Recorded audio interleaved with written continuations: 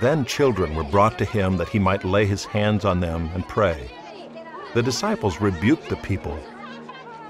But Jesus said, Let the little children come to me, and do not hinder them, for to such belongs the kingdom of heaven. And he laid his hands on them and went away.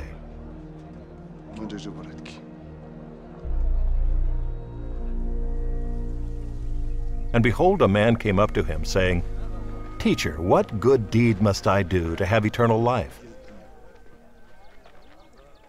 And he said to him, Why do you ask me about what is good? There is only one who is good. If you would enter life, keep the commandments. He said to him, Which ones? And Jesus said, You shall not murder, you shall not commit adultery, you shall not steal, you shall not bear false witness. Honor your father and mother, and you shall love your neighbor as yourself. The young man said to him, All these I have kept. What do I still lack? Jesus said to him, If you would be perfect, go, sell what you possess and give to the poor, and you will have treasure in heaven, and come, follow me. When the young man heard this, he went away sorrowful for he had great possessions.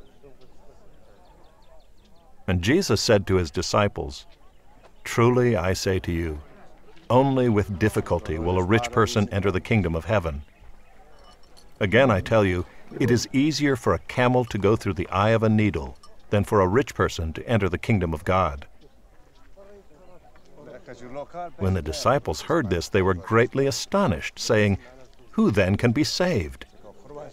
But Jesus looked at them and said, With man this is impossible, but with God all things are possible. Then Peter said in reply, See, we have left everything and followed you. What then will we have?